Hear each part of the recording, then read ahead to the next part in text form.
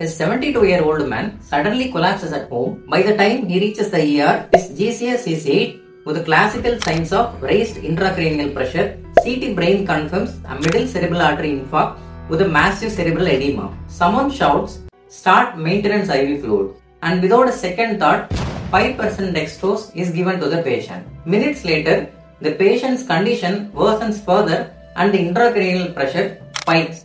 Here is the mistake 5% dextrose is hypotonic. Once the dextrose is metabolized, free water floods into already swollen brain cells, further increasing the cerebral edema. The rule is never use hypotonic solutions like 5% dextrose in patients with cerebral edema. It can be fatal. Let me know in the comments what's your fluid of choice in cerebral edema. Hit the subscribe button if you want more clinical pearls like this.